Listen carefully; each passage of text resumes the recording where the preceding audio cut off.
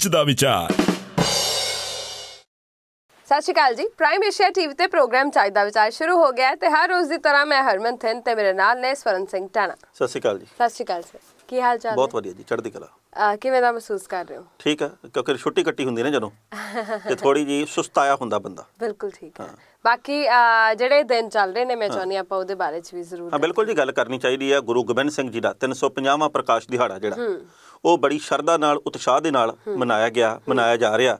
ਤੇ ਵੱਡੀ ਗੱਲ ਇਹ ਹੈ ਵੀ ਨਤੀਸ਼ ਕੁਮਾਰ ਦੀ ਜਿਹੜੀ ਸਰਕਾਰ ਹੈ ਉਹਨੇ ਇਤਕੀ ਫੇਰ ਬੜੀ ਸ਼ਰਧਾ ਭਾਵਨਾ ਪੇਸ਼ ਕੀਤੀ ਹੈ ਪਟਨਾ ਸਾਹਿਬ ਦੇ ਵਿੱਚ। ਦੇਖੋ ਜਦੋਂ ਇਹ ਲਾਸਟ ਈਅਰ ਜਦੋਂ ਤੋਂ ਇਹ ਤਿਆਰੀਆਂ ਸਾਰੀਆਂ ਚੱਲ ਰਹੀਆਂ ਸੀ ਨਾ ਉਦੋਂ ਮੈਨੂੰ ਉੱਥੇ ਜਾਣ ਦਾ ਮੌਕਾ ਮਿਲਿਆ ਪਟਨਾ ਸਾਹਿਬ ਮੈਂ ਗਈ। ਅੱਛਾ ਜੀ। ਤੇ ਕਿਉਂਕਿ ਉਦੋਂ ਮੈਂ ਅਕਤੂਬਰ ਦੇ ਮਹੀਨੇ ਦੇ ਵਿੱਚ ਗਈ ਤੇ ਦਸੰਬਰ ਦੇ ਵਿੱਚ ਗੁਰਪੁਰਬ ਸੀ। ਤੇ ਅਕਤੂਬਰ ਦੇ ਵਿੱਚ ਐ ਨਹੀਂ ਸੀ ਲੱਗਦਾ ਬਿਲਕੁਲ ਵੀ ਕਿ ਕੁਝ ਵੀ ਹੋ ਪਾਏਗਾ। ਹਨਾ ਮੇਰਾ ਜਿੰਨੇ ਹੀ ਉੱਥੇ ਕੰਸਟਰਕਸ਼ਨ ਚੱਲ ਰਹੀ ਸੀ ਉੱਥੇ ਸਾਰਾ ਕੰਮ ਚੱਲ ਰਿਹਾ ਸੀ ਤੇ ਐ ਲੱਗਦਾ ਸੀ ਦੇਖ ਕੇ ਵੀ ਇਹ ਪੋਸੀਬਲ ਹੀ ਨਹੀਂ ਹੈ ਕਿ ਉਦੋਂ ਤੱਕ ਕੰਪਲੀਟ ਹੋ ਜਾਵੇ। ਨੀਤਾਂ ਨਾਲ ਮੁਰਾਦਾਂ ਹੁੰਦੀਆਂ। ਹਾਂ ਪਰ ਮੈਂ ਸਲੂਟ ਕਰਦੀ ਹਾਂ ਨਿਤਿਸ਼ ਕੁਮਾਰ ਬਿਲਕੁਲ। ਉਹਨਾਂ। ਦੀਆਂ ਨੀਤਾਂ ਚੰਗੀਆਂ ਸੀ ਤੇ ਇਸ ਕਰਕੇ ਮੁਰਾਦਾਂ ਜਿਹੜੀਆਂ ਉਹ। ਵਾਲੀ ਗੱਲ ਹੈ ਨਾ ਜਿਹੜੀ ਉਹ ਲਾਗੂ ਹੋ ਗਈ ਹੈ ਮੇਰੇ ਨਾ ਮਨ ਦੇ ਵਿੱਚ ਥੋੜੇ ਜਿਹੇ ਸਵਾਲ ਖੜੇ ਹੋ ਗਏ ਸੀ। ਜਦੋਂ ਪਿਛਲੀ ਵਾਰ ਇਹ ਸੀ ਨਾ ਲਾਲੂ ਪ੍ਰਸਾਦ ਯਾਦਵ ਦੇ ਨਾਲ ਮਿਲ ਕੇ ਇਹਨਾਂ ਦੀ ਸਰਕਾਰ ਚੱਲਦੀ ਸੀ। ਹਾਂਜੀ। ਉਦੋਂ ਇਹਨਾਂ ਨੇ ਬੜੇ ਵਧੀਆ ਪ੍ਰਬੰਧ ਕੀਤੇ ਸੀਗੇ। ਹੂੰ। ਉੱਥੇ ਪਟਨਾ ਸਾਹਿਬ ਦੇ ਵਿੱਚ। ਪਰ ਉਸ ਤੋਂ ਬਾਅਦ ਉਹ ਸਰਕਾਰ ਦੀ ਟੁੱਟ ਗਈ। ਉਹ ਭਾਜਪਾ ਦੇ ਵਿੱਚ ਸ਼ਾਮਲ ਹੋ ਗਿਆ। ਮੇਰੇ ਮਨ ਦੇ ਵਿੱਚ ਕਈ ਕਿਸਮ ਦੇ ਸਵਾਲ ਆ ਗਏ ਵੀ ਨਤੀਸ਼ ਕੁਮਾਰ ਨਾ ਜਿਹੜਾ ਬੰਦਾ ਉਹਦਾ ਕੋਈ ਸਟੈਂਡ ਨਹੀਂਗਾ ਅੱਛਾ। ਉਹ ਇੱਕ ਥਾਂ ਦੇ ਉੱਤੇ ਖੜਨ ਵਾਲਾ ਨਹੀਂ ਮੇਰੀ ਆਪਣੀ ਧਾਰਨਾ ਸੀ। ਪਰ ਜਦੋਂ ਮੈਂ ਹੁਣ ਦੇਖਿਆ ਵੀ ਉੱਥੇ ਪਟਨਾ ਸਾਹਿਬ ਦੇ ਵਿੱਚ ਕਿੰਨੀ ਸ਼ਰਧਾ ਦਿਖਾਈ ਉਹਨੇ ਲੰਗਰ ਆਪ ਵਰਤਾਇਆ। ਪੱਗ ਬੰਨ ਕੇ ਉਹ ਕਿਸ ਤਰੀਕੇ ਨਾਲ ਲੋਕਾਂ ਦੇ ਵਿੱਚ ਵਿਚਰਿਆ ਨਤੀਸ਼ ਕੁਮਾਰ। ਤਾਂ ਮੇਰੇ ਮਨ ਦੇ ਵਿੱਚ ਇਹ ਗੱਲ ਆਈ ਵੀ ਭਾਵੇਂ ਉਹਦੇ ਰਾਜਨੀਤਿਕ ਕਾਰਨ ਕੋਈ ਵੀ ਹੋਣ ਹੋ। ਸਕਦਾ ਗਲਤ ਹੋਵੇ ਭਾਵੇਂ ਉਹ ਸਹੀ ਹੋਵੇ ਪਰ ਉਸ ਬੰਦੇ ਦੇ ਅੰਦਰ ਸਿੱਖੀ ਦੇ ਪ੍ਰਤੀ ਕਿੰਨਾ ਸਤਿਕਾਰ ਹੈ। ਬਿਲਕੁਲ ਠੀਕ ਤੇ ਹੈ ਇੱਕ ਗੱਲ ਮੈਂ ਹੋਰ ਇਹਦੇ ਵਿੱਚ ਦਰਜ ਕਰਨੀ ਚਾਹੁੰਦਾ ਕਿ ਛੋਟੇ ਤੇ ਵੱਡੇ ਸਾਹਿਬਜ਼ਾਦਿਆਂ ਦਾ ਸ਼ਹੀਦੀ ਦਿਹਾੜਾ ਨਾ ਜਿਹੜਾ ਬਿਲਕੁਲ ਠੀਕ ਉਹਦੇ ਬਾਬਤ ਵੀ ਸਾਨੂੰ ਬਾਤ ਜ਼ਰੂਰ ਪਾਉਣੀ ਚਾਹੀਦੀ ਹੈ ਗੱਲ ਕਰਨੀ ਚਾਹੀਦੀ ਹੈ ਜਿਹੜੇ ਅੱਜ ਦੀ ਤਰੀਕ ਦੇ ਵਿੱਚ ਨਾ 7 ਸਾਲ ਦਾ ਬੱਚਾ 9 ਸਾਲ ਦਾ ਬੱਚਾ ਦੇਖੋ ਰਜਾਈ ਦੇ ਵਿੱਚੋਂ ਨਿਆਣੇ ਨਹੀਂ ਨਿਕਲਦੇ। ਨਹੀਂ ਨਿਕਲ ਪਰ ਕਿੱਥੇ ਉਹਨਾਂ ਦਾ ਜਜ਼ਬਾ ਦੇਖੋ ਕੁਰਬਾਨੀ ਦਾ ਜਜ਼ਬਾ। ਦੇਖੋ ਬੱਚੇ ਤਾਂ ਚਲੋ ਆਪਾਂ ਕਹਿੰਦੇ ਵੀ 9 ਤੇ 7 ਸਾਲ ਦੇ ਬੱਚੇ ਅੱਜ ਕੱਲ ਰਜਾਈ ਚੋਂ ਨਹੀਂ ਨਿਕਲਦੇ ਮਾਵਾਂ ਵੀ ਨਹੀਂ ਨਿਕਲਣ ਨਹੀਂ ਦਿੰਦੀਆਂ, ਹੈ ਨਾ ਤੇ ਕਿੱਥੇ ਮਾਂ ਗੁਜਰੀ ਜਿਹੜੇ। ਨਾਲ ਲੈ ਕੇ ਲਈ ਫਿਰਦੇ ਬਿਲਕੁਲ ਸੀ। ਸਹੀ ਗੱਲ। ਸੋ ਉਹ ਪਰ ਮੈਨੂੰ ਨਾ ਇੱਕ ਅਫਸੋਸ ਮਨ ਦੇ ਵਿੱਚ ਬਹੁਤ ਮਤਲਬ ਬਹੁਤ ਕੁਝ ਸੋਚਣ ਨੂੰ ਮਜਬੂਰ ਆ ਐਕਚੁਅਲੀ ਕਿਉਂਕਿ ਇੱਕ ਪਾਸੇ ਤਾਂ ਗੁਰਪ੍ਰਭ ਹੈ ਤੇ ਦੂਸਰੇ ਪਾਸੇ ਇਹ ਦਿਨ ਨੇ। ਮੈਂ ਨਾ ਇੱਥੇ ਗੱਲ ਕਰਨੀ ਚਾਹੁੰਦਾ ਸੀਗਾ ਕਿ ਜਿਹੜੇ ਸਾਡੇ ਕੈਲੰਡਰੀ ਵਿਵਾਦ ਆ ਨਾ ਹਾਂ, ਇਹ ਬਹੁਤ ਗਲਤ ਹੈ। ਨਾਨਕਸ਼ਾਹੀ ਜਿਹੜਾ ਕੈਲੰਡਰ ਸੋਧਿਆ ਹੋਇਆ ਨਾਨਕਸ਼ਾਹੀ ਕੈਲੰਡਰ ਮੈਂ ਕਦੇ ਕਦੇ ਇਹ ਗੱਲ ਸੋਚਦਾ ਹੁੰਨਾ ਹਰਮਨ ਜੀ ਹਾਲਾਂਕਿ ਇਹ ਹੈ ਤਾਂ ਭਾਵਨਾਵਾਂ ਨੂੰ ਹੋ ਸਕਦਾ ਕਿਸੇ ਦੀਆਂ ਨੂੰ ਕੱਦੂਕਸ਼ ਵੀ ਕਰ ਜੇ ਗੱਲ। ਧਰਮ ਦੇ ਮਾਮਲੇ ਦੇ ਉੱਤੇ ਥੋੜਾ ਜਿਹਾ ਤੁਹਾਨੂੰ ਸੰਕੋਚ ਕਰਕੇ ਬੋਲਣਾ ਪੈਂਦਾ। ਪਰ ਨਾ ਅਸੀਂ ਕੈਲੰਡਰਾਂ ਦੇ ਵਿੱਚ ਉਲਝੇ ਹੋਏ ਹਾਂ। ਸਾਡੇ ਮਨ ਦੀ ਜਿਹੜੀ ਸ਼ਰਧਾ ਜਿਹੜੀ ਸਾਡੀ ਆਸਥਾ ਜੋ ਸਾਡੇ ਵਲਵਲੇ ਆ ਉਹਨਾਂ ਦਾ ਪ੍ਰਗਟਾਵਾ ਕੈਲੰਡਰੀ ਤਰੀਕਾ ਨਾਲ ਜੁੜ ਕੇ ਰਹਿ ਗਿਆ। ਤੁਸੀਂ ਦੇਖੋ ਨਾ ਵੀ ਕਈਆਂ ਦੇ ਮਨ ਦੇ ਵਿੱਚ ਇਹ ਆ ਮੈਂ ਇੱਕ ਉਦਾਹਰਨ ਦਿੰਦਾ। ਕਹਿੰਦੇ ਵੀ ਇੱਕ ਵਾਰੀ ਇੱਕ ਨਾ ਗੁਰਦੁਆਰੇ ਦੇ ਗ੍ਰੰਥੀ ਦੇ ਕੋਲੇ ਇੱਕ ਬੰਦਾ ਗਿਆ। ਹਾਂਜੀ। ਉਹ ਕਹਿੰਦਾ ਵੀ ਬਾਬਾ ਜੀ ਇਹ ਦੱਸੋ ਵੀ ਐਤਕੀ ਆਪਾਂ ਗੁਰਪੁਰਬ ਕਦੋਂ ਮਨਾਉਣਾ? 5 ਜਨਵਰੀ ਨੂੰ ਜਾਂ 25 ਦਸੰਬਰ ਨੂੰ? ਹੂੰ। ਉਹ ਕਹਿੰਦਾ ਪੁੱਤਰਾ ਜਦੋਂ ਮਰਜ਼ੀ ਮਨਾ ਲਓ। ਖਾਣਾ ਤਾਂ ਆਪਾਂ ਲੰਗਰ ਹੀ ਆ। ਆਪਾਂ ਕਿਹੜਾ ਗੁਰੂ ਸਾਹਿਬਾਨ ਦੀਆਂ ਸਿੱਖਿਆਵਾਂ ਦੇ ਉੱਤੇ ਕਦੇ ਅਮਲ ਕਰਨਾ? ਬਿਲਕੁਲ ਆਪਾਂ ਕਿਹੜਾ ਉਹਨਾਂ ਦੀ ਕਈ ਹੋਈ ਗੱਲ ਦੇ ਉੱਤੇ ਕਦੇ ਵਿਚਾਰ ਕਰਨਾ? ਆਪਾਂ ਤਾਂ ਸਿਰਫ ਇੱਕ ਫੈਸ਼ਨ ਜਿਹਾ ਬਣਾ ਲਿਆ। ਇਸ ਕਰਕੇ ਨਾ ਜਿਹੜੀਆਂ ਇਹ ਗੱਲਾਂ ਕੈਲੰਡਰੀ ਵਿਵਾਦ ਤੋਂ ਉੱਤੇ ਉੱਠ ਗਏ ਆਪਾਂ ਅਸੀਂ ਮਨ ਦੇ ਵਿੱਚ ਆਪਣੀ ਸ਼ਰਧਾ ਭਾਵ ਪਾਲ ਗਏ ਅਸੀਂ ਉਹਨਾਂ ਵਰਗੇ ਬਣਨ ਦੀ ਕੋਸ਼ਿਸ਼ ਕਰਗੇ ਉਹਨਾਂ ਪੂਰਨਿਆਂ ਦੇ ਉੱਤੇ ਤੁਰਨ ਦੀ ਕੋਸ਼ਿਸ਼ ਕਰਗੇ ਜੇਕਰ ਅਸੀਂ ਚਾਹੁੰਦੇ ਆ ਨਾ ਕਿ ਅਸੀਂ ਸਿੱਖੀ ਦੇ ਫਲਸਫੇ ਨੂੰ ਸਿੱਖੀ ਦੇ ਸਿਧਾਂਤਾਂ ਨੂੰ ਅਪਣਾਉਣ ਵਾਲੇ ਜੋਤ ਜਗਾਉਣ ਵਾਲੇ ਅੱਗੇ ਵਧਣ ਵਾਲੇ ਆ ਤਾਂ ਸੋਚਣ ਵਿਚਾਰਨ ਦੀ ਲੋੜ ਹੈ। ਬਿਲਕੁਲ ਠੀਕ ਹੈ। ਹਰਮਨ ਜੀ ਪਹਿਲਾਂ ਕਹਿੰਦੇ ਹੁੰਦੇ ਸੀ ਨਾ ਕਿ ਘਰ ਦੀ ਮੁਰਗੀ ਦਾਲ ਬਰਾਬਰ। ਹਾਂ ਪਹਿਲਾਂ ਕੀ ਅੱਜ ਕੱਲ ਵੀ ਕਹਿੰਦੇ ਨੇ? ਨਹੀਂ ਹੁਣ ਤਾਂ ਹਾਲਾਤ ਬਦਲ ਗਏ ਆ। ਕਿਉਂ? ਕੁੱਕੜ ਤੇ ਦਾਲ ਇੱਕੋ ਜਿੰਨੇ ਮੁੱਲ 'ਚ ਮਿਲਦੀ ਹੈ ਹੁਣ ਤੁਸੀਂ ਦਾਲ ਲੈਣ ਜਾਓ ਬਾਜ਼ਾਰ ਦੇ ਵਿੱਚ ਤਾਂ ਉਹਦਾ ਵੀ ਉਹੀ ਰੇਟ ਆ ਤੇ ਜੇ ਕੁੱਕੜ ਲੈਣ ਜਾਣਾ ਹੋਵੇ ਕਿਲੋ? ਅੱਛਾ ਵੈਸੇ ਨਾ ਸੌਰੀ ਮੈਂ ਤੁਹਾਡੀ ਗੱਲ ਵਿੱਚ ਹੀ ਟੋਕ ਦਿੱਤੀ ਪਰ ਮੈਂ ਇੱਕ ਚੀਜ਼ ਸੋਚਦੀ ਹੁੰਨੀ ਆ ਕਿ ਸ਼ੁਰੂ ਤੋਂ ਮੋਦੀ ਹੋਰੀ ਰੌਲਾ ਪਾਉਂਦੇ ਸੀ ਵੀ ਇੱਕ ਮੁਲਕ ਇੱਕ ਟੈਕਸ ਹਨਾ? ਤੇ ਉਹ ਇੱਕ ਟੈਕਸ ਹੋਰ ਕਿਤੇ ਚਾਹੇ ਨਜ਼ਰ ਆਇਆ ਹੋਵੇ ਜਾਂ ਨਾ ਪਰ ਪੈਟਰੋਲ ਤੇ ਹਨਾ? ਮਤਲਬ ਕੀਮਤਾਂ ਜਿਹੜੀਆਂ ਨੇ ਉਹ ਪੈਟਰੋਲ ਦੀਆਂ ਉਹ ਟਮਾਟਰਾਂ ਦੀਆਂ ਉਹ ਦਾਲਾਂ ਦੀਆਂ ਤੇ ਸਹੀ ਆ। ਮੁਰਗੇ ਦੀਆਂ ਬਿਲਕੁਲ ਇੱਕੋ ਬਿਲਕੁਲ ਆਪਾਂ ਇੱਕ ਦਿਨ ਅੱਗੇ ਗੱਲ ਕੀਤੀ ਸੀ ਨਾ ਵੀ ਟਮਾਟਰ ਹੋ ਗਏ 120 ਰੁਪਏ ਕਿਲੋ। ਤੇ ਅਨਾਰ ਹੈਗੇ 90 ਰੁਪਏ ਕਿਲੋ। ਤੇ ਬੰਦਾ ਸੋਚਦਾ ਵੀ ਹੁਣ ਅਨਾਰ ਦਾ ਤੜਕਾ ਕਿਵੇਂ ਲਾਵਾਂ? ਠੀਕ ਹੈ ਨਾ ਵੀ ਹੁਣ ਮੈਂ ਟਮਾਟਰ ਦੇ ਵਿੱਚੋਂ ਦਾਣੇ ਕਿਵੇਂ ਕੱਢਾਂ? ਬਿਲਕੁਲ ਠੀਕ ਕਈ ਹੈ। ਗੱਲਾਂ ਖੈਰ। ਜਿਹੜੀ ਨਾ ਦਾਲ ਆ ਇਹ ਹੈ ਤਾਂ ਕਮਾਲ ਹੀ। ਪਹਿਲਾਂ ਅਸੀਂ ਸੋਚਦੇ ਹੁੰਦੇ ਸੀ ਸਾਡੇ ਵੱਡੇ ਵਡੇਰੇ ਵੀ ਸੋਚਦੇ ਹੁੰਦੇ ਸੀ ਵੀ ਗਰੀਬ ਗੁਰਬੜਿਆਂ ਦਾ ਖਾਣਾ ਇਹ। ਬਿਲਕੁਲ ਠੀਕ ਹੈ। ਪਰ ਅੱਜ ਦੇ ਸਮੇਂ ਦੇ ਵਿੱਚ ਕਹਿੰਦੇ ਕਵਾਉਂਦੇ ਚੰਗੇ। ਰੀਸ ਲੋਕਾਂ ਦਾ ਖਾਣਾ ਵੀ ਬਣ ਗਿਆ ਹੈ ਕਿਉਂਕਿ ਮਹਿੰਗੀ ਇੰਨੀ ਹੈ ਮਹਿੰਗੀ ਇੰਨੀ ਹੋ ਗਈ ਆ ਸਰਕਾਰ ਨੇ ਨਾ ਜਿਹੜਾ ਛੋਟੇ ਵੱਡੇ ਦੇ ਵਿੱਚ ਸਮਾਨਤਾ ਪੈਦਾ ਕਰਨ ਦੇ ਲਈ। ਹੋਰ ਕਿਤੇ ਨਹੀਂ ਹੋਈ ਹਾਂ, ਸਮਾਨਤਾ ਪੈਦਾ ਇਹ ਦਾਲਾਂ 'ਚ। ਜ਼ਰੂਰ ਕਰਤੀ ਹੈ। ਬਰਾਬਰਤਾ ਕਰਤੀ। ਹੁਣ ਤੁਸੀਂ ਬਾਜ਼ਾਰ ਦੇ ਵਿੱਚ ਜਾਓ ਨਾ ਦਾਲ ਲੈਣ। ਤੇ ਉਹ ਮੇਰਾ ਖਿਆਲ ਵੀ 100 ਸਵਾ 100 ਰੁਪਏ ਕਿਲੋ। ਤੁਸੀਂ ਇਹ ਵੇਖੋ ਵੀ ਉਹ ਪੀਲੀ ਦਾਲ ਜਿਹਨੂੰ ਤਾਂ ਹਮੇਸ਼ਾ ਹੀ ਦੇਖ ਕੇ ਨਿਆਣੇ ਸਿਆਣੇ ਨਾ ਮੂੰਹ ਨੱਕ। ਚੜਾਉਂਦੇ ਨੇ ਵੀ ਆਹ ਆਹ ਦਾਲ ਖਾਣੀ ਆ ਇਹ ਤਾਂ ਬਿਮਾਰਾਂ ਵਾਲੀ ਹੈ ਅੱਜ ਫੇਰ ਦਾਲ। ਇਹ ਤਾਂ ਬਿਮਾਰਾਂ ਵਾਲੀ ਦਾਲ ਹੈ ਹਨਾ? ਉਹ ਦਾਲ ਵੀ ਇੰਨੀ ਮਹਿੰਗੀ ਹੋ ਗਈ ਕਿ ਬੰਦੇ ਨੂੰ ਉਹੀ ਸਵਾਦ ਆਉਂਦਾ ਰਹਿੰਦਾ ਮਹਿੰਗੀ ਹੋਣ ਕਰਕੇ ਵੀ ਬੜੀ ਸਵਾਦ ਬਹੁਤ। ਵਧੀਆ ਕੀ ਬਾਤ ਆ ਧਨੀਆ ਦਾ ਕਮਾਲ ਹੀ ਕਰੀ ਜਾਂਦਾ। ਖੈਰ ਜਿਹੜੀ ਨਾ ਅੱਜ ਦੀ ਖਬਰ ਹੈ ਇੱਕ ਉਹ ਇਹ ਆ ਕਿ ਜਿਹੜੀ ਪੰਜਾਬ ਦੀ ਸਰਕਾਰ ਆ। ਕੈਪਟਨ ਸਰਕਾਰ। ਇਹਨੇ ਚੋਣਾਂ ਤੋਂ ਪਹਿਲਾਂ ਵਾਅਦਾ ਕੀਤਾ ਸੀ ਵੀ ਜੇਕਰ ਸਾਨੂੰ ਮੌਕਾ ਮਿਲ ਗਿਆ ਤਾਂ ਅਸੀਂ ਦਾਲ ਵੀ ਦੇਵਾਂਗੇ ਛੋਲਿਆਂ ਦੀ। ਅੱਛਾ। ਕਣਕ ਤਾਂ ਦੇਣੀ ਦੇਣੀ ਆ। ਅਸੀਂ ਦੇਸੀ ਘਿਓ ਵੀ ਦਿਆ ਕਰਾਂਗੇ। ਸਮਾਰਟਫੋਨ ਵੀ ਦਿਆ ਅਸੀਂ ਚਾਹ ਕਰਾਂਗੇ। ਪੱਤੀ ਤੇ ਖੰਡ ਵੀ ਦਿਆ ਕਰਾਂਗੇ। ਵੇਲੜ ਬਣਾ ਦਿਓ ਲੋਕਾਂ ਨੂੰ ਹਾਂ। ਰੱਜ ਕੇ ਹਨਾ? ਪਰ ਉਹਨਾਂ ਨੇ ਬਾਅਦ ਦੇ ਵਿੱਚ ਸੋਚਿਆ ਵੀ ਆਪਾਂ ਵੇਲੜ ਨਹੀਂ ਬਣਾਉਣਾ ਇਸ ਕਰਕੇ ਕੁਝ ਨਹੀਂ ਦੇ ਰਹੇ। ਉਹ ਇਹ ਇਹ ਅਸਲ ਸਰਕਾਰ। ਹਾਂ ਇਹ ਅਸਲ ਸਰਕਾਰ ਘੁੰਮ ਕੇ ਗਾਉਣ ਵਾਲਾ ਛੰਦ ਅਸਲ ਦੇ ਵਿੱਚ। ਠੀਕ ਹੈ ਹਾਂ ਬਿਲਕੁਲ ਠੀਕ ਹੈ ਪਰ ਤੁਸੀਂ ਵੇਖੋ ਮੈਂ ਇਹ ਸੋਚਦੀ ਹੁੰਨੀ ਹਾਂ ਜੇ ਕਿਤੇ ਗੋਰਿਆਂ ਨੂੰ ਪਤਾ ਲੱਗੇ ਵੀ ਸਾਡੇ ਮੁਲਕ ਦੇ ਵਿੱਚ ਇਹਨਾਂ ਮੁੱਦਿਆਂ ਦੇ ਉੱਪਰ ਰਾਜਨੀਤੀ ਹੁੰਦੀ ਹੈ ਵੀ ਦਾਲ ਦੇ ਉੱਤੇ ਰਾਜਨੀਤੀ ਹੁੰਦੀ ਹੈ ਜਾਂ ਇਹਨਾਂ ਮੁੱਦਿਆਂ ਨੂੰ ਲੈ ਕੇ ਲੋਕਾਂ ਤੋਂ ਵੋਟਾਂ ਲਈਆਂ ਜਾਂਦੀਆਂ ਨੇ ਠੀਕ ਆ? ਬਾਹਰਲੇ ਮੁਲਕਾਂ ਦੇ ਵਿੱਚ ਵੀ ਫੈਸਿਲਿਟੀਆਂ ਹੋਣਗੀਆਂ ਪਰ ਉਹਨਾਂ ਦਾ ਲੈਵਲ ਕੁਝ। ਹੋਰ ਆ। ਸਹੂਲਤਾਂ ਪਰ ਉਹਨਾਂ ਦਾ ਪੱਧਰ ਕੁਝ ਹੋਰ ਆ। ਉਹਨਾਂ ਦਾ ਤਰੀਕਾ ਕੁਝ ਹੋਰ ਆ ਹਨਾ? ਪਰ ਜੇ ਹਿੰਦੁਸਤਾਨ ਦੀ ਗੱਲ ਕਰੀ ਤਾਂ ਇੱਥੇ ਤਰੀਕੇ ਹੀ ਆਪਣੇ ਨੇ। ਬਿਲਕੁਲ। ਰਾਜਨੀਤੀ ਕਰਨ ਦਾ ਢੰਗ ਹੀ ਆਪਣਾ ਤੁਸੀਂ ਜਿੱਤੇ ਮਰਜ਼ੀ ਰਾਜਨੀਤੀ ਜਿਹੜਾ ਮਰਜ਼ੀ ਮੁੱਦਾ ਚੁੱਕ ਲਓ ਕਦੀ ਤਾਂ ਕਿਸੇ ਕਹਿ ਲਓ ਨਿੱਕੇ ਤੋਂ ਨਿੱਕੇ ਮੁੱਦੇ ਦੇ ਉੱਪਰ ਰਾਜਨੀਤੀ ਹੋਣ ਲੱਗ ਜਾਂਦੀ ਹੈ ਤੇ ਕਦੀ ਵੱਡੇ ਤੋਂ ਵੱਡੇ ਮੁੱਦੇ ਜਿਹੜੇ ਨੇ ਉਹ ਵੀ ਸ਼ਾਂਤ ਕਰ ਦਿੱਤੇ ਜਾਂਦੇ ਨੇ ਵੀ ਧਿਆਨ ਨਹੀਂ। ਪਿਛਲੀ ਸਰਕਾਰ ਸੀ ਨਾ ਉਹ ਸਰਕਾਰ ਦੇ ਮੌਕੇ ਜਿਨ੍ਹਾਂ ਦੇ ਘਰੇ 20-20 ਲੱਖ ਦੀਆਂ ਗੱਡੀਆਂ ਖੜੀਆਂ ਜਿਨ੍ਹਾਂ ਦੀਆਂ ਮਹਿੰਗੀਆਂ ਕੋਠੀਆਂ ਕਾਰਾਂ ਉਹਨਾਂ ਦੇ ਵੀ ਨੀਲੇ ਕਾਰਡ ਬਣ ਗਏ। ਉਹਨਾਂ ਨੂੰ ਵੀ ਕਣਕ ਮਿਲੀ ਗਈ। ਉਹਨਾਂ ਨੂੰ ਵੀ ਦਾਲਾਂ ਮਿਲੀ ਗਈਆਂ ਸਾਰੀਆਂ ਸਹੂਲਤਾਂ ਮਿਲੀ ਗਈਆਂ। ਤੇ ਜਿਹੜੀ ਉਹ ਕਣਕ ਦੀ ਬੋਰੀ ਹੁੰਦੀ ਸੀ ਨਾ ਤੁਸੀਂ ਦੇਖੀ ਕਦੇ ਉਹ? ਹਾਂ ਮੈਂ ਦੇਖਿਆ ਉਹਦੇ ਉੱਤੇ ਬਾਦਲ ਸਾਹਿਬ ਦੀ ਫੋਟੋ ਲੱਗੀ ਹੁੰਦੀ ਸੀ। ਇਹ ਫੋਟੋ ਦਾ ਬੜਾ ਰੌਲਾ ਹੈ। ਇਹ ਐਂਬੂਲੈਂਸ ਦੇ ਉੱਤੇ ਵੀ ਲੱਗੀ ਹੁੰਦੀ। ਸੀ। ਇਹ ਕੁੱਕਰ ਦੇ ਉੱਤੇ ਵੀ ਲੱਗ ਕੇ ਆ ਗਈ ਸੀ ਸਾਈਕਲਾਂ ਦੇ ਉੱਤੇ। ਹਾਂ। ਉਹ ਹੁੰਦਾ ਸੀਗਾ ਜਿਹੜੀ ਮੂਰੇ ਟੋਕਰੀ ਹੁੰਦੀ ਹੈ ਸਾਈਕਲ ਦੀ ਉਹਦੇ ਉੱਤੇ ਲੱਗੀ ਹੁੰਦੀ ਸੀ ਬਾਦਲ ਸਾਹਿਬ ਦੀ। ਤੇ ਜਿਹੜਾ ਚੇਨ ਕਵਰ ਹੁੰਦਾ ਉਹਦੇ ਉੱਤੇ ਭਾਜਪਾ ਦੇ ਇੱਕ ਆਗੂ ਦੀ ਲੱਗੀ ਹੁੰਦੀ ਸੀ। ਖੈਰ। ਜਿਹੜੀ ਆਪਾਂ ਗੱਲ ਕਰਨੀ ਨਾ ਉਹ ਇਹ ਆ ਕਿ ਜਿਹੜੀ ਇਹ ਦਾਲ ਦੀ ਸਹੂਲਤ ਆ ਛੋਲਿਆਂ ਦੀ ਦਾਲ ਇਹ ਜਿਹੜੀ ਕੈਪਟਨ ਸਰਕਾਰ ਆ ਨਾ ਇਹਦੀ ਕਣਕ ਵੀ ਆ ਜਿਹੜੀ ਇਹਨੇ ਗਰੀਬਾਂ ਦੀ ਲਗਭਗ ਬੰਦ ਕਰ ਦਿੱਤੀ ਆ। ਹਾਲੇ ਤੱਕ ਲੋਕਾਂ ਨੂੰ ਨਿਯਮਤ ਤਰੀਕੇ ਦੇ ਨਾਲ ਕਣਕ ਨਹੀਂ ਮਿਲ ਰਹੀ। ਤੇ ਜਿਹੜੀ ਦਾਲ ਆ ਉਹ ਤਾਂ ਬਿਲਕੁਲ ਹੀ ਬ੍ਰੇਕ ਲੱਗ ਗਈ। ਮਹਿੰਗੀ ਵੀ ਆ। ਸਰਕਾਰ ਕਹਿੰਦੀ ਹੈ ਵੀ ਖਜ਼ਾਨੇ ਵਿੱਚ ਪਿਛਲੀ ਸਰਕਾਰ ਨੇ ਕੱਖ ਨਹੀਂ ਛੱਡਿਆ। ਕੇਂਦਰ ਦੇ ਵੱਲੋਂ ਰਾਸ਼ੀ ਨਹੀਂ ਜਾਰੀ ਕੀਤੀ ਜਾ ਰਹੀ। ਇਹ ਬਹੁਤ ਸਾਰੀਆਂ ਗੱਲਾਂ। ਪਰ ਨਾ ਤਾਂ ਕਦੇ ਲੋਕਾਂ ਨੇ ਸਵਾਲ ਕੀਤਾ ਸੀ ਕਿ ਤੁਹਾਡੀ ਸਰਕਾਰ ਕੀ ਸੱਚੀ ਮੁੱਚੀ ਸਾਡੀਆਂ ਸਹੂਲਤਾਂ ਜਾਰੀ ਰੱਖੂ? ਤੇ ਨਾ ਸਰਕਾਰ ਨੇ ਕਦੇ ਭਰੋਸਾ ਦਿੱਤਾ ਸੀ ਬੇਫਿਕਰ ਰਹੋ ਘਿਓ ਦੇ ਦਿਆਂਗੇ ਦੇਸੀ ਘਿਓ ਆਹ ਕਰ ਦਿਆਂਗੇ ਉਹ ਕਰ ਦਿਆਂਗੇ। ਮੈਨੂੰ ਨਾ ਦਾਲ ਤੋਂ ਇੱਕ ਗੱਲ ਚੇਤੇ ਆ ਜਾਂਦੀ ਹੈ। ਹਾਂਜੀ। ਜਿਹੜੀ ਦਾਲ ਆ ਨਾ ਉਹ ਵੀ ਕਈ ਥਾਵਾਂ ਦੇ ਉੱਤੇ ਕਮਾਲ ਹੁੰਦੀ ਜੇ ਢਾਬੇ ਤੇ ਜਾਈਏ। ਕਈ ਢਾਬਿਆਂ ਦੀ ਪਛਾਣ ਹੀ ਇਹੋ ਜੀ ਹੁੰਦੀ ਆ ਵੀ ਇਹਨਾਂ ਦੀ ਦਾਲ ਬਹੁਤ ਵਧੀਆ। ਹਾਂ ਬਿਲਕੁਲ। ਦਾਲ ਕਰਕੇ ਚੱਲੀ ਜਾਂਦੇ ਆ। ਲੋਕ ਕਹਿੰਦੇ ਸਾਡਾ ਕੁਝ ਨਹੀਂ ਚੱਲਦਾ ਜਿਹੜੀ ਦਾਲ ਹੀ ਚੱਲ ਗਈ। ਠੀਕ ਹੈ ਨਾ? ਕਹਿੰਦੇ ਵੀ ਇੱਕ ਵਾਰੀ ਇੱਕ ਬੰਦਾ ਗਿਆ ਢਾਬੇ ਤੇ ਹਾਂ। ਉਹ ਕਹਿੰਦਾ ਵੀ ਚਾਰ ਰੋਟੀਆਂ ਦੇ ਤੇ ਦਾਲ। ਹੂੰ। ਹਾਫ ਦਾਲ ਦੇ ਦੇ ਅੱਧੀ ਪਲੇਟ। ਉਹਨੇ ਦਾਲ ਲਿਆਤੀ। ਹੂੰ। ਤੇ ਉਹਨੇ ਦੋ ਕੁ ਬੁਰਕੀਆਂ ਲਾਈਆਂ। ਹੂੰ। ਕਹਿੰਦਾ ਵੀ ਗੱਲ ਬਣੀ ਨਹੀਂ। ਜਿਹੜੀ ਪਰਸੋਂ ਦਾਲ ਖਾਦੀ ਸੀ ਨਾ ਮੈਂ ਤੁਹਾਡੇ ਹਾਂ। ਉਹ ਸਿਰਾ ਸੀ ਕਮਾਲ। ਅੱਜ ਵਾਲੀ ਤਾਂ ਐਵੇਂ ਹੀ ਆ। ਕਹਿੰਦਾ ਸਾਹਿਬ ਜੀ ਤੁਹਾਡੇ ਮੂੰਹ ਦਾ ਸਵਾਦ ਖਰਾਬ ਹੋਣਾ ਇਹ ਹੈਗੀ ਪਰਸੋਂ ਵਾਲੀ ਹੈ ਲਓ ਦੀ ਹਾਜ਼ਰ ਹੈ। ਜੱਜ ਦਾ ਵਿਚਾਰ। ਪ੍ਰਾਈਮ ਏਸ਼ੀਆ ਟੀਵੀ ਦਿਲ ਦੀਆਂ ਗਹਿਰਾਈਆਂ ਚੋਂ ਆਪ ਸਭ ਵੱਲੋਂ ਦਿੱਤੇ ਪਿਆਰ ਲਈ ਧੰਨਵਾਦੀ ਹੈ ਕਿ ਥੋੜੇ ਜਿਹੇ ਸਮੇਂ ਵਿੱਚ ਹੀ ਤੁਸੀਂ ਸਾਨੂੰ ਘਰ ਘਰ ਦੀ ਪਸੰਦ ਬਣਾ ਦਿੱਤਾ ਹੈ। ਅਜਿਹੇ 'ਚ ਅਸੀਂ ਪਹਿਲਾਂ ਨਾਲੋਂ ਵੀ ਜ਼ਿਆਦਾ ਮਿਹਨਤ ਨਾਲ ਹੋਰ ਨਵੇਂ ਪ੍ਰੋਗਰਾਮ ਲੈ ਕੇ ਆ ਰਹੇ ਹਾਂ, ਪਰ ਤੁਹਾਡੇ ਸਾਥ ਤੋਂ ਬਿਨਾਂ ਅਸੀਂ ਕੁਝ ਵੀ ਨਹੀਂ ਹਾਂ। ਸੋ YouTube ਤੇ ਸਾਡਾ ਚੈਨਲ ਸਬਸਕ੍ਰਾਈਬ ਕਰਨਾ ਨਾ ਭੁੱਲਣਾ ਤੇ ਬੈਲ ਦਾ ਬਟਨ ਜ਼ਰੂਰ ਦਬਾਉਣਾ ਤਾਂ ਜੋ ਨਵੇਂ ਪ੍ਰੋਗਰਾਮਾਂ ਦਾ ਨੋਟੀਫਿਕੇਸ਼ਨ ਤੁਹਾਨੂੰ ਮਿਲ ਸਕੇ। ਇਨ੍ਹਾਂ ਪਲੇਟਫਾਰਮਸ ਤੇ ਵੀ ਤੁਸੀਂ ਸਾਨੂੰ ਦੇਖ ਸਕਦੇ ਹੋ ਤੇ ਇਸ ਦੇ ਨਾਲ ਹੀ ਇਨ੍ਹਾਂ ਸਾਰੇ ਪਲੇਟਫਾਰਮਸ ਤੇ ਵੀ ਅਸੀਂ ਅਵੇਲੇਬਲ ਹਾਂ ਤੇ ਸਾਡਾ ਫੇਸਬੁੱਕ ਪੇਜ ਵੀ ਲਾਈਕ ਕਰਨਾ। ਪ੍ਰਾਈਮ ਏਸ਼ੀਆ ਟੀਵੀ ਤੁਹਾਡਾ ਆਪਣਾ, ਤੁਹਾਡੇ ਲਈ। ਲਓ ਦੀ ਹਾਜ਼ਰ ਹੈ। ਜੱਜ ਦਾ ਵਿਚਾਰ।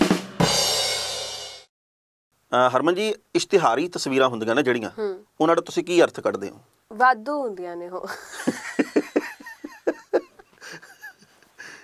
ਹੁੰਦੀਆਂ ਤਾਂ ਦੇਖੋ ਇਸ਼ਤਿਹਾਰੀ ਤਸਵੀਰਾਂ ਨੇ ਜਿਹੜੀਆਂ ਉਹ ਵਾਧੂ ਇਸ ਕਰਕੇ ਹੁੰਦੀਆਂ ਵੀ ਇਸ਼ਤਿਹਾਰ ਦੇਣ ਦੀ ਲੋੜ ਹੀ ਨਹੀਂ ਨਹੀਂ ਨਹੀਂ ਉਹ ਇੰਨੇ ਇੰਨੇ ਵਾਧੂ ਕੰਮ ਹੁੰਦੇ ਨੇ ਨਾ ਮਤਲਬ ਜਿਵੇਂ ਸਿੱਧੇ ਤੌਰ ਤੇ ਕਮਾ ਦੇਖੋ ਮੈਂ ਹਮੇਸ਼ਾ ਇਹ ਗੱਲ ਕਹਿਨੀ ਆ ਤੁਸੀਂ ਕੰਮ ਇਹੋ ਜਿਹੇ ਕਰੋ ਕਿ ਤੁਹਾਨੂੰ ਪ੍ਰਚਾਰਨ ਦੀ ਲੋੜ ਨਾ ਬਿਲਕੁਲ। ਸਹੀ ਆ। ਠੀਕ ਹੈ ਜਿਹੜਾ ਤੁਸੀਂ ਲੋਕਾਂ ਇਹ ਲੋਕਾਂ ਦਾ ਹੀ ਪੈਸਾ ਹੈ ਸਾਡੀਆਂ ਜੇਬਾਂ ਚੋਂ ਨਿਕਲਿਆ ਹੋਇਆ ਖਬਰ ਪੈਸਾ ਹੈ। ਛਪਵਾਉਣ ਦੇ ਲਈ ਕੰਮ ਨਾ ਕਰੋ।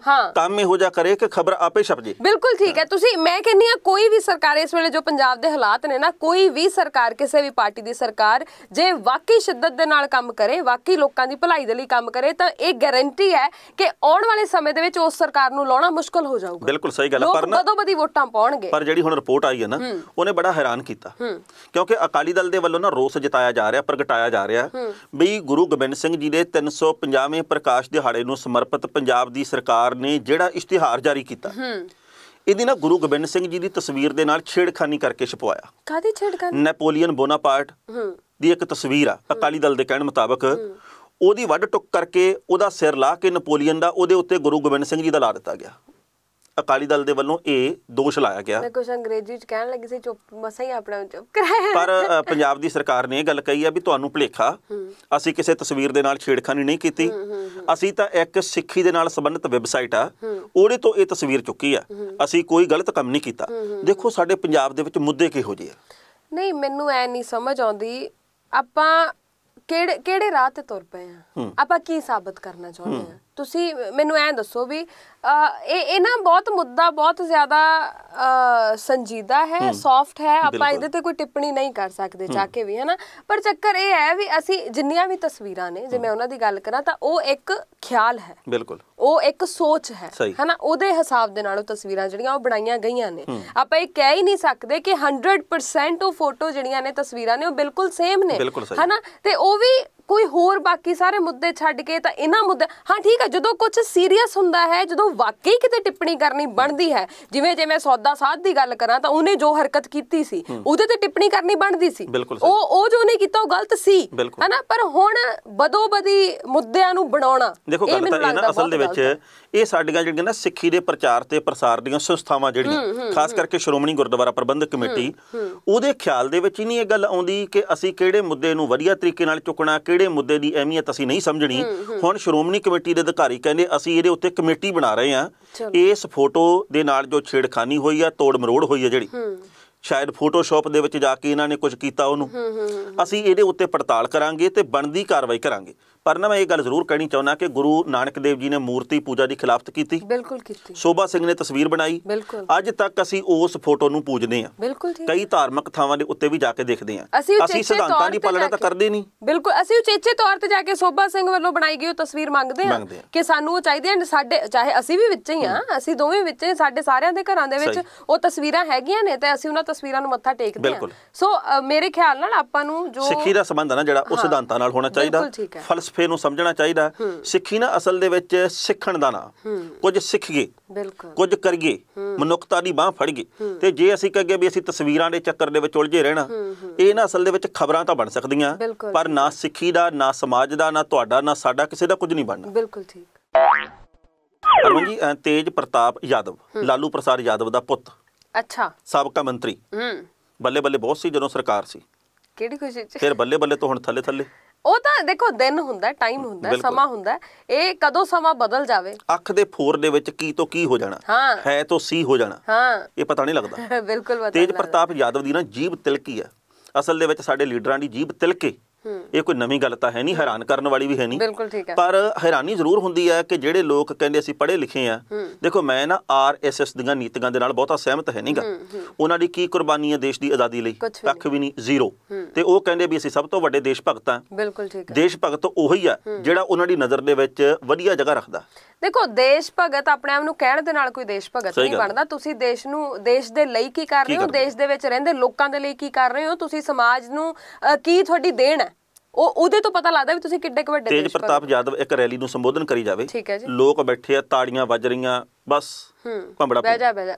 ਬਹਿ ਜਾ ਬਹਿ ਜਾ। ਸਾਹਮਣੇ ਉਹ ਕੁੱਤਾ ਆਵੇ ਭੱਜਿਆ। ਅੱਛਾ। ਤੇ ਤੇਜ ਪ੍ਰਤਾਪ ਯਾਦਵ ਨੇ ਕਮਾਲ ਕਰਤੀ। ਕੀ ਕਹਿੰਦਾ? ਕਹਿੰਦਾ ਉਹ ਆਉਂਦਾ ਇੱਕ ਆਰਐਸਐਸ ਦਾ ਸਿਪਾਹੀ ਭੱਜਿਆ। ਹੋ। ਕੁੱਤੇ ਦੀ ਤੁਲਨਾ ਆਰਐਸਐਸ ਦੇ ਇੱਕ ਸਿਪਾਹੀ ਨਾਲ ਸਮਰਥਕ ਦੇ ਨਾਲ ਕੀਤੀ ਆ। ਕਹਿੰਦਾ ਇਸ ਸਮਰਥਕ ਨੂੰ ਆਰਐਸਐਸ ਦੇ ਸਮਰਥਕ ਨੂੰ ਰੈਲੀ ਦੇ ਵਿੱਚ ਆਉਣ ਤੋਂ ਰੋਕੋ। ਇਹਨੇ ਕਿਸੇ ਦੀ ਲੱਤ ਲੁੱਤ ਫੜ ਲੈਣੀ ਆ ਕਿਸੇ ਨੂੰ ਖਾ ਲੈਣਾ। ਸੋ ਇਸ ਤੋਂ ਬਾਅਦ ਇੱਕ ਵਿਵਾਦ ਪੈਦਾ ਹੋ ਗਿਆ। ਭਾਜਪਾ ਨੇ ਤੇ ਆਰਐਸਐਸ ਨੇ ਇਹ ਗੱਲ ਕਹੀ ਆ ਕਿ ਇਸ ਬੰਦੇ ਦੀ ਸੋਚ ਨੂੰ ਘੁਣ ਲੱਗ ਚੁੱਕਿਆ। ਹਾਲਾਂਕਿ ਲੱਗਿਆ ਤਾਂ ਭਾਜਪਾ ਤੇ ਆਰਐਸਐਸ ਨੂੰ ਵੀ ਆ।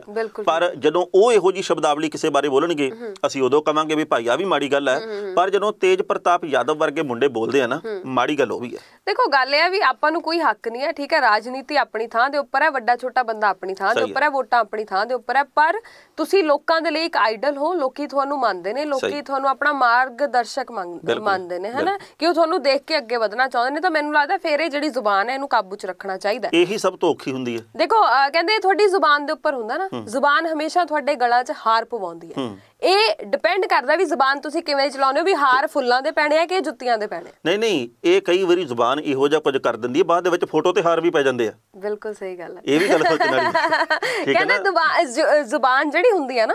ਉਹ ਇੱਕ ਸ਼ਟਰ ਦੀ ਤਰ੍ਹਾਂ ਹੁੰਦੀ ਹੈ। ਹਾਂ ਬਿਲਕੁਲ। ਜਦੋਂ ਇਹ ਖੁੱਲਦੀ ਹੈ ਤੇ ਫੇਰ ਹੀ ਪਤਾ ਲੱਗਦਾ ਵੀ ਦੁਕਾਨ ਸੋਨੇ ਦੀ ਹੈ ਕਿ ਕੋਲੇ ਦੀ ਬਿਲਕੁਲ ਸਹੀ ਗੱਲ ਹੈ ਪਰ ਨਾ ਇੱਕ ਗੱਲ ਇਹਦੇ ਚ ਇਹ ਵੀ ਦੱਸਣੀ ਬਣਦੀ ਹੈ। ਰਾਜਨੀਤਿਕ ਲੋਕਾਂ ਦਾ ਕੋਈ ਦੀਨ ਧਰਮ ਨਹੀਂ ਹੁੰਦਾ। ਨਹੀਂ ਹੁੰਦਾ। ਇਹ ਘੁੰਮ ਕੇ ਕਦੇ ਕਿੱਧਰ ਹੋ ਸਕਦੇ ਆ ਕਦੇ ਕਿੱਧਰ। ਆਪਾਂ ਐਵੇਂ ਕਹਿ ਦਿੰਦੇ ਆ। ਵੀ ਗਿਰਬਗਟ ਆ ਜਿਹੜਾ ਉਹ ਬਹੁਤ ਰੰਗ ਬਦਲਦਾ। ਇਹਨਾਂ ਨਾਲੋਂ ਵੱਧ ਤਾਂ ਕੋਈ ਬਦ- ਬਦਲ ਹੀ ਨਹੀਂ ਸਕਦਾ ਦੇਖੋ। ਗੱਲ ਇਹ ਹੈ ਉਹ ਕਹਿੰਦੇ ਹੁੰਦੇ ਨੇ ਨਮਕ ਸਵਾਦ ਅਨੁਸਾਰ ਪਰ ਇਹ ਲੋਕ ਬਦਲਦੇ ਨੇ ਆਪਣੇ ਫਾਇਦੇ ਅਨੁਸਾਰ।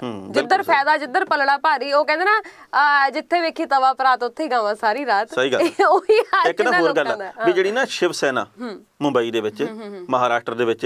ਉਹਨਾਂ ਦੀ ਭਾਜਪਾ ਦੇ ਨਾਲ ਗੱਠਜੋੜ ਆ। ਹਾਂਜੀ ਬਿਲਕੁਲ। ਪਰ ਉਹਨਾਂ ਦੀ ਨਾ ਤਾਂ ਭਾਜਪਾ ਦੇ ਨਾਲ ਕਦੇ ਸੁਰ ਰਲਦੀ ਹੈ ਤੇ ਨਾ ਹੀ ਕਦੇ ਅੱਡ ਹੁੰਦੇ ਆ।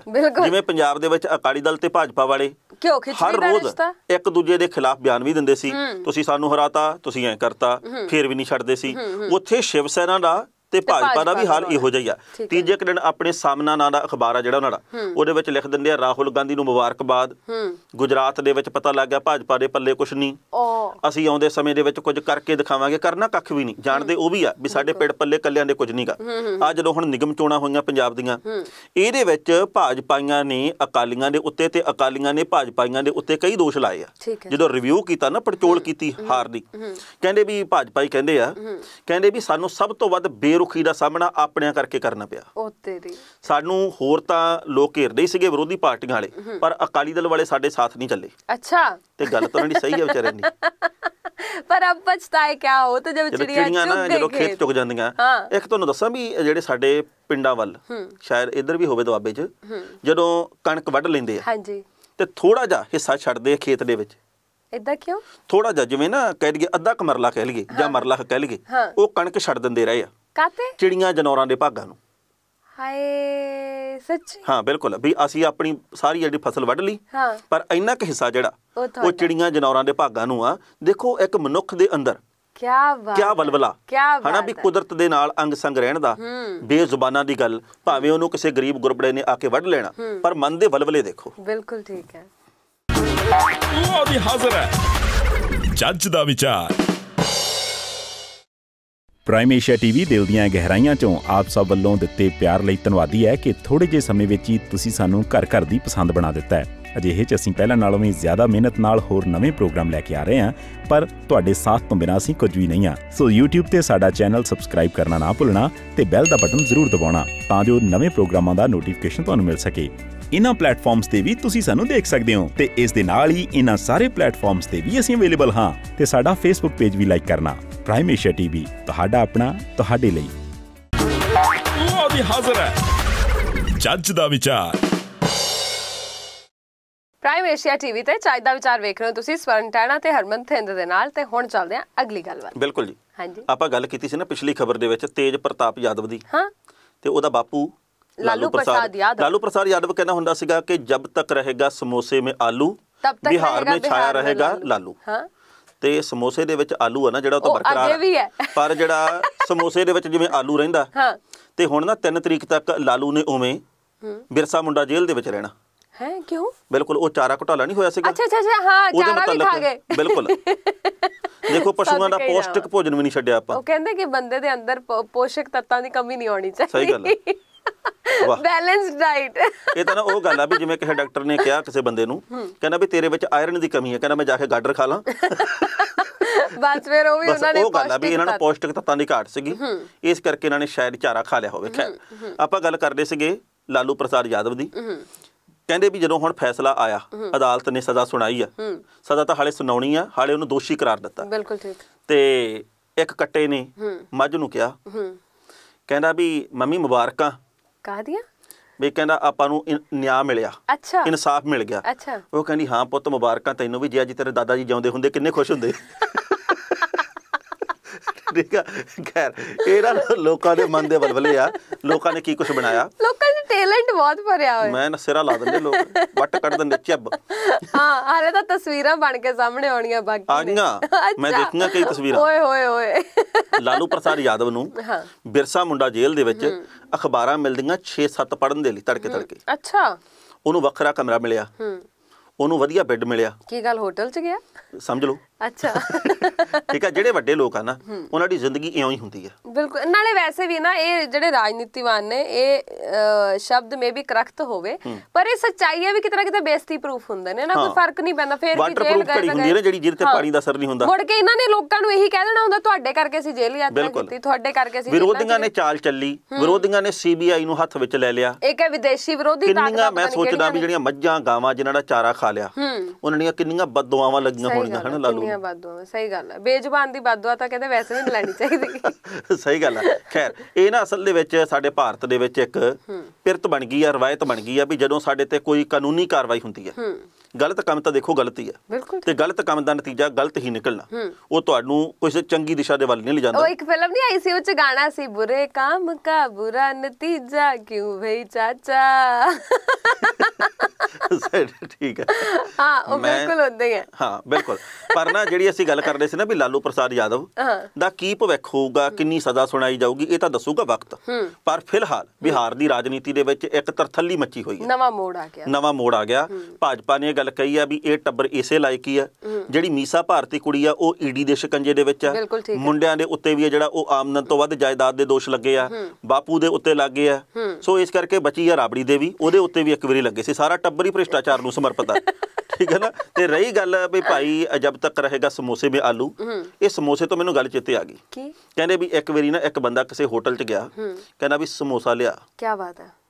ਤੇ ਉਹਨੇ ਨਾ ਸਮੋਸੇ ਦੇ ਵਿੱਚੋਂ ਆਲੂ ਆਲੂ ਕੱਢ ਕੇ ਖਾ ਲੇ ਤੇ ਬਾਹਰਲਾ ਹਿੱਸਾ ਪਰੇ ਰੱਖਤਾ। ਕਿਉਂ? ਉਹ ਵੇਟਰ ਕਹਿੰਦਾ ਕਹਿੰਦਾ ਵੀ ਆਹ ਕੀ ਚੱਕਰ ਆ? ਕਹਿੰਦਾ ਡਾਕਟਰਾਂ ਨੇ ਆਖਿਆ ਬਾਹਰਲੀ ਚੀਜ਼ ਨਹੀਂ ਖਾਣੀ। ਤਾਂ ਹਰਮਨ ਜੀ ਅੰਨਾ ਹਜ਼ਾਰੇ ਆ ਨਾ ਜਿਹੜਾ ਉਹਨੇ ਫਿਰ ਬੜਕ ਮਾਰੀ ਇੱਕ। ਕੀ ਕਹਿੰਦੇ ਨੇ? ਬਸ ਫਿਰ ਉਹੀ ਬੜਕ ਜਿਹਦੇ ਵਿੱਚ ਦਮ ਹੈ ਨਹੀਂ ਹੁਣ। ਦਮ ਹੈ ਨਹੀਂ ਇਸ ਬੜਕ ਦੇ ਵਿੱਚ। ਕਿਉਂ ਕੀ ਕਿਹਾ? ਇੱਕ ਵੇਲਾ ਸੀ। ਆਪਾਂ ਜਾਣਦੇ ਆ ਵੀ ਸਾਰਾ ਭਾਰਤ ਅੰਨਾ ਅੰਨਾ ਅੰਨਾ ਅੰਨਾ ਕਰਦਾ ਸੀ। ਮੈਂ ਵੀ ਅੰਨਾ ਤੂੰ ਵੀ ਅੰਨਾ। ਤੇ ਇੱਕ ਬੰਦੇ ਦੀ ਭਾਸ਼ਾਈ ਸ਼ੁੱਧਤਾ ਨਹੀਂ ਸੀ ਕਹਿੰਦਾ ਮੈਂ ਵੀ ਅੰਨਾ ਤੂੰ ਵੀ ਅੰਨਾ। ਮੈਂ ਖੰਨਾ ਨੰਨੇ ਦੇ ਪੈਰ 'ਚ ਹਾਹਾ ਨਹੀਂ ਪਾਉਣਾ ਇਹ ਅੰਨਾ ਬਣ ਜਾਂਦਾ ਵੀ ਦਿਸਦਾ ਨਹੀਂ। ਇਹ ਅੰਨਾ ਅੰਨਾ, ਹਜ਼ਾਰੇ। ਆ। ਰਾਲੇ ਗਣ ਸਿੱਧੀ ਵਾਲਾ। ਖੈਰ। ਇਹ ਨਾ ਹੁਣ ਮੈਂ ਵੀ ਅੰਨਾ ਤੇ ਤੂੰ ਵੀ ਅੰਨਾ ਇਹ ਨਹੀਂ ਹੋਣੀਗੀ। ਮੇਰਾ ਆਪਣਾ? ਖਿਆਲ ਆ। ਅੱਛਾ ਵੈਸੇ ਨਾ ਉਦੋਂ ਜਦੋਂ ਜਦੋਂ ਅੰਨਾ ਹਜ਼ਾਰੇ ਜ਼ਿਆਦਾ ਸੁਰਖੀਆਂ ਦੇ ਵਿੱਚ ਆਏ ਸੀਗੇ ਜਦੋਂ ਉਹਨਾਂ ਨੇ ਉਹ ਸਾਰਾ ਸ਼ੁਰੂਆਤ ਕੀਤੀ ਤੁਹਾਨੂੰ ਪਤਾ ਇੱਕ ਪੰਜਾਬੀ ਦੁਗਾਣਾ ਵੀ ਆਇਆ ਸੀ? ਕਿਹੜਾ? ਉਹ ਅੰਨੇ ਹਜ਼ਾਰੇ ਵਾਂਗੂ ਹਾਂ ਕਰਵਾ ਕੇ ਛੱਡੂਗਾ ਮੈਂ ਉਸ ਕਲਾਕਾਰ ਦੇ ਬਾਰੇ ਲਿਖਿਆ।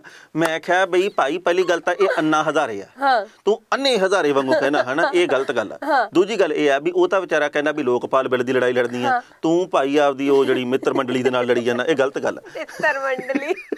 ਨਹੀਂ ਅੱਛਾ ਜਦੋਂ ਉਹ ਸਾਰੀ ਲਹਿਰ ਤੁਰੀ ਸੀ ਹੈ। ਨਾ ਲੋਕਾਂ ਨੇ ਬਹੁਤ ਜ਼ਿਆਦਾ ਸਾਥ ਦਿੱਤਾ ਸੀ। ਲੋਕੀ ਬਹੁਤ ਜ਼ਿਆਦਾ ਨਾਲ ਜੁੜੇ ਸੀ ਪਰ ਉਸ ਲਹਿਰ ਨੂੰ ਸੰਭਿਆ ਨਹੀਂ। ਨਹੀਂ ਸੰਭਿਆ ਗਿਆ। ਜੇ ਕਿਤੇ ਸੰਭਾਲ ਲੈਂਦੇ ਤਾਂ ਸ਼ਾਇਦ ਵਾਕਈ ਅੱਜ ਹੁਣ ਤਾਂ ਵੇਲੇ ਦੀ ਸੱਟ ਤੇ ਇੱਕ ਵੇਲੇ ਦੀਆਂ ਟੱਕਰਾਂ ਵਾਲੀ ਗੱਲ ਹੈ ਸਾਢੇ ਤਿੰਨ ਪੌਣੇ 4 ਸਾਲ ਨਿਕਲ ਗਏ ਆ। ਅੰਨਾ ਹਜ਼ਾਰੇ ਨੂੰ ਚੇਤਾ ਨਹੀਂ ਆਇਆ ਵੀ ਮੋਦੀ ਸਰਕਾਰ ਕੱਖ ਨਹੀਂ ਕਰ ਰਹੀ ਨਾ ਲੋਕਪਾਲ ਬਿੱਲ ਬਾਰੇ ਕੁਝ ਕਰ ਰਹੀ ਹੈ ਨਾ ਭ੍ਰਿਸ਼ਟਾਚਾਰ ਬਾਰੇ ਨਾ ਕਿਸਾਨਾਂ ਬਾਰੇ। ਤੇ ਹੁਣ ਇੱਕਦਮ ਫਿਰ ਕਹਿਣ ਲੱਗੇ ਆ 23 ਮਾਰਚ ਕੋ ਮੈਂ ਫਿਰ ਅਨਸ਼ਨ ਪਰ ਬੈਠੂੰਗਾ। ਫਿਰ ਫਾਇਦਾ ਕੀ ਉਹਦਾ? ਨਿਕਲਣਾ ਕੀ ਆ? ਹੁਣ ਉਹਨਾਂ ਨੇ ਤੰਗੋ ਤਾਂ ਬੜਕ ਮਾਰੀ ਆ। ਕਹਿੰਦੇ ਵੀ ਐਤਕੀ ਜਦੋਂ ਮੈਂ ਧਰਨੇ ਤੇ ਬੈਠ ਗਿਆ ਨਾ ਮੈਂ ਨਹੀਂ ਕਿਸੇ ਕੋਲੋਂ ਜੂਸ ਜਾਸ ਪੀਣਾ। ਅੱਛਾ। ਪ੍ਰਾਣੀ ਤਿਆਗੂੰਗਾ ਸਿੱਧਾ ਸਰੀਰ ਹੀ ਛੱਡੂ। ਹੋ ਮੌਤ ਨੂੰ ਗੱਲ ਨਾਲ ਲਾ ਲੂੰ। ਸੱਚੀ ਗੱਲ ਹੈ? ਬਿਲਕੁਲ। ਓ ਮਾਈ ਗॉड ਐਡਾ ਦੀ ਗੱਲ ਕਹਤੀ ਉਹਨਾਂ ਨੇ। ਕਹਿੰਦੇ ਵੀ ਕਿਸਾਨਾਂ ਦੀਆਂ ਜਿਹੜੀਆਂ ਸਮੱਸਿਆਵਾਂ ਨਾ। ਮੋਦੀ ਸਰਕਾਰ ਉਹਦੀ ਸਾਰ ਨਹੀਂ ਲੈ ਰਹੀ। ਲੋਕਪਾਲ ਬਿੱਲ ਬਾਰੇ ਕੁਝ ਨਹੀਂ ਕਰ ਰਹੀ। ਸਾਡੇ ਫੌਜੀ ਭਾਈਆਂ ਬਾਰੇ ਕੁਝ ਨਹੀਂ ਕਰ ਰਹੀ। ਸਾਡੀਆਂ ਮੰਗਾਂ ਨਹੀਂ ਮੰਨ ਰਹੀ। ਮੈਂ ਦੋ ਤਿੰਨ ਵਾਰ ਚਿੱਠੀਆਂ ਲਿਖੀਆਂ। ਉਹਨਾਂ ਚਿੱਠੀਆਂ ਦਾ ਕਦੇ ਮੈਨੂੰ ਜਵਾਬ ਨਹੀਂ ਆਇਆ। ਇਸ ਕਰਕੇ ਮੈਂ 23 ਮਾਰਚ ਤੋਂ ਬੈਠਣਾ। ਰਾਮਲੀਲਾ ਮੈਦਾਨ ਦੇ ਵਿੱਚ। ਉੱਥੇ ਫਿਰ ਮੈਂ ਭਾਈ ਸ਼ੁਰੂ ਕਰ ਦੇਣਾ ਉਹੀ ਕੰਮ। ਨਹੀਂ ਨਹੀਂ ਪਰ ਮੈਨੂੰ ਇੱਕ ਗੱਲ ਦੱਸੋ। ਇਹਨਾਂ ਦਾ ਸਿੱਟਾ ਕੀ?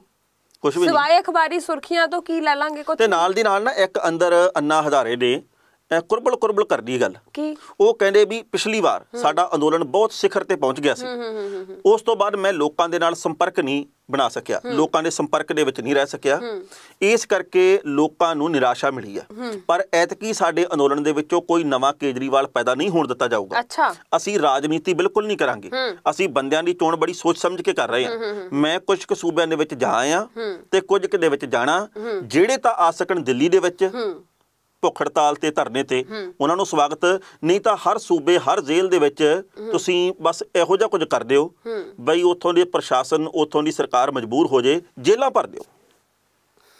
ਦੇਖਦੇ ਆ ਇਹ ਤਾਂ ਤਈ ਮਾਰਚ ਦੱਸੇਗੀ ਇਸ ਕਰਕੇ ਨਾ ਅੰਨਾ ਹਜ਼ਾਰੇ ਜੀ ਨੂੰ ਤਾਂ ਬੇਨਤੀ ਆ ਦੇਖੋ ਉਮਰ ਦੇ ਵਿੱਚ ਉਹ ਸਿਆਣੇ ਆ। ਬਿਲਕੁਲ ਠੀਕ ਹੈ ਭ੍ਰਿਸ਼ਟਾਚਾਰ ਦੇ ਦੋਸ਼ ਵੀ ਨਹੀਂ ਲੱਗੇ ਇਹ ਵੀ ਗੱਲ ਸੱਚੀ ਆ। ਪਰ ਕਈ ਲੋਕ ਨੇ ਇਹ ਗੱਲ ਕਹਿੰਦੇ ਵੀ ਉਹ ਬੀਜੇਪੀ ਦੇ ਏਜੰਟ ਦੇ ਤੌਰ ਤੇ ਕੰਮ ਕਰਦੇ ਰਹੇ ਆ ਜੋੜ ਤੋੜ ਦੀ ਵਾਲੀ ਗੱਲ। ਦੇਖੋ ਸੱਚ ਕਦੇ ਨਹੀਂ ਲੁਕਦਾ ਹੁੰਦਾ। ਮੈਂ ਨਹੀਂ ਕਹਿੰਦੀ ਵੀ ਉਹ ਕਰਦੇ ਰਹੇ ਜਾਂ ਨਹੀਂ ਕਰਦੇ ਰਹੇ ਪਰ ਜੋ ਵੀ ਹੈ ਉਹ ਸੱਚਾਈ ਇੱਕ ਨਾ ਇੱਕ ਦਿਨ ਤਾਂ। ਸਾਹਮਣੇ ਆ ਹੀ ਜਾਣੀ ਹੈ। ਹਨਾ? ਬਾਕੀ ਰਹੀ ਗੱਲ ਉਹ ਵਾਕਈ ਤੁਸੀਂ ਠੀਕ ਕਹਿ ਰਹੇ ਸੀ ਵੀ ਇੰਨੀ ਦੇਰ ਤਾਂ ਚੇਤਾ ਨਹੀਂ ਆਇਆ। ਮੋਦੀ ਸਰਕਾਰ ਕਿਹੜਾ ਮਹੀਨਾ ਪਹਿਲਾਂ ਬਣੀ ਹੈ। ਜਾਂ ਹੁਣ ਬਣੀ ਹੈ ਜਾ ਕੇ ਹਨਾ? ਵੀ ਇੰਨੀ ਦੇਰ ਤੁਸੀਂ ਕਿੱਥੇ ਸੀ? ਉਦੋਂ ਨਹੀਂ ਤੁਹਾਨੂੰ ਪਤਾ ਲੱਗਿਆ ਵੀ ਕਿਸਾਨਾਂ ਲਈ ਕੀ ਹੋ ਰਿਹਾ ਹੈ ਜਾਂ ਫੌਜੀ ਭਾਈਆਂ ਲਈ ਕੀ ਹੋ ਰਿਹਾ ਹੈ ਜਾਂ ਲੋਕਾਂ ਦੇ ਲਈ ਕੀ ਹੋ ਰਿਹਾ ਹੈ। ਇਹ ਜੇ ਸ਼ੁਰੂ ਤੋਂ ਖਿਆਲ ਦਿੱਤਾ ਜਾਂਦਾ ਜ- ਜੇ ਸ਼ੁਰੂ ਤੋਂ ਖਿਆਲ ਰੱਖਦੇ ਇਹਨਾਂ ਚੀਜ਼ਾਂ ਦਾ ਤੇ ਫਿਰ ਸ਼ਾਇਦ ਹੁਣ ਨੂੰ ਕੁਝ ਬਦਲ ਜਾਂਦਾ। ਦੇਖੋ ਅਸਲ ਦੇ ਵਿੱਚ ਨਾ ਭਾਰਤ ਦੇ ਵਿੱਚ ਲਹਿਰਾਂ ਬਣ ਜਾਂਦੀਆਂ ਪਰ ਲਹਿਰਾਂ ਜਿਵੇਂ ਤੁਸੀਂ ਗੱਲ ਕੀਤੀ ਸੀ ਨਾ ਸੰਭਾਲੀਆਂ ਨਹੀਂ ਜਾਂਦੀਆਂ। ਨਹੀਂ ਜਾਂਦੀਆਂ। ਆਮ ਆਦਮੀ ਪਾਰਟੀ ਦੀ ਗੱਲ ਵੀ ਜਦੋਂ ਅਸੀਂ ਕਰਦੇ ਆ ਇਸ ਲਹਿਰ ਦੇ ਵਿੱਚੋਂ ਹੀ ਭ੍ਰਿਸ਼ਟਾਚਾਰ ਵਿਰੋਧੀ ਅੰਦੋਲਨ ਦੇ ਵਿੱਚੋਂ ਇਹ ਪਾਰਟੀ ਨਿਕਲੀ। ਪਰ ਪਾਰਟੀ ਨੇ ਜਿਹੜੀ ਸਿਖਰ ਨੂੰ ਛੋਇਆ ਤੇ ਉਸ ਤੋਂ ਬਾਅਦ ਕੁਝ ਹੱਦ ਤੱਕ ਡਾਵਾਡੋਲ ਵੀ ਹੋਈ। ਹੁਣ ਫਿਰ ਮਿਹਨਤ ਕਰ ਰਿਹਾ ਮਨੀਸ਼ ਸਿਸੋਦੀਆ ਨੂੰ ਪੰਜਾਬ ਦੇ ਵਿੱਚ ਲਾਇਆ ਗਿਆ ਇੰਚਾਰਜ। ਕਹਿੰਦੇ ਆ ਵੀ ਕੁਝ ਨਾ ਕੁਝ ਫੇਰ ਬਦਲ ਹੋਊਗਾ ਪੰਜਾਬ ਦੇ ਵਿੱਚ ਵੀ। ਇਹ ਵਕਤ ਦੱਸੂਗਾ ਕਿ ਆਮ ਆਦਮੀ ਪਾਰਟੀ ਕਿੰਨਾ ਕੁ ਪੱਕੇ ਪੈਰੀ ਹੁੰਦੀ ਹੈ ਤੇ 23 ਮਾਰਚ ਦੱਸੂਗੀ ਵੀ ਭਾਰਤ ਦੇ ਕਿੰਨੇ ਕੁ ਲੋਕ ਹੁਣ ਅੰਨਾ ਹਜ਼ਾਰੇ ਨਾਲ। ਆ। ਬਿਲਕੁਲ ਠੀਕ। ਗੱਲਾਂ ਦਾ ਹੀ ਕੰਮਕਾਜ ਆ ਜਾਂ ਫਿਰ ਹਕੀਕੀ ਤੌਰ ਦੇ ਉੱਤੇ ਵੀ ਸਾਡੇ ਸਾਹਮਣੇ ਕੁਝ ਆਉਂਦਾ। ਬਿਲਕੁਲ। ਲਓ ਵੀ ਹਾਜ਼ਰ ਹੈ। ਜੱਜ ਦਾ ਵਿਚਾਰ। ਪ੍ਰਾਈਮ ਏਸ਼ੀਆ ਟੀਵੀ ਦਿਲ ਦੀਆਂ ਗਹਿਰਾਈਆਂ ਚੋਂ ਆਪ ਸਭ ਵੱਲੋਂ ਦਿੱਤੇ ਪਿਆਰ ਲਈ ਧੰਨਵਾਦੀ ਹੈ ਕਿ ਥੋੜੇ ਜਿਹੇ ਸਮੇਂ ਵਿੱਚ ਹੀ ਤੁਸੀਂ ਸਾਨੂੰ ਘਰ-ਘਰ ਦੀ ਪਸੰਦ ਬਣਾ ਦਿੱਤਾ ਹੈ। ਅਜਿਹੇ 'ਚ ਅਸੀਂ ਪਹਿਲਾਂ ਨਾਲੋਂ ਵੀ ਜ਼ਿਆਦਾ ਮਿਹਨਤ ਨਾਲ ਹੋਰ ਨਵੇਂ ਪ੍ਰੋਗਰਾਮ ਲੈ ਕੇ ਆ ਰਹੇ ਹਾਂ, ਪਰ ਤੁਹਾਡੇ ਸਾਥ ਤੋਂ ਬਿਨਾਂ ਅਸੀਂ ਕੁਝ ਵੀ ਨਹੀਂ ਹਾਂ। ਸੋ YouTube ਤੇ ਸਾਡਾ ਚੈਨਲ ਸਬਸਕ੍ਰਾਈਬ ਕਰਨਾ ਨਾ ਭੁੱਲਣਾ ਤੇ ਬੈਲ ਦਾ ਬਟਨ ਜ਼ਰੂਰ ਦਬਾਉਣਾ ਤਾਂ ਜੋ ਨਵੇਂ ਪ੍ਰੋਗਰਾਮਾਂ ਦਾ ਨੋਟੀਫਿਕੇਸ਼ਨ ਤੁਹਾਨੂੰ ਮਿਲ ਸਕੇ।